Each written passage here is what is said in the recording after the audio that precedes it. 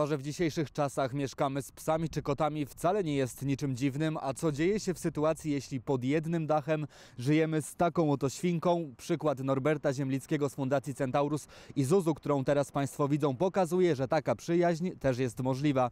A więcej na ten temat opowiemy już wieczorem o godzinie 21 w informacjach Echo 24. Piotr Błachut, do zobaczenia.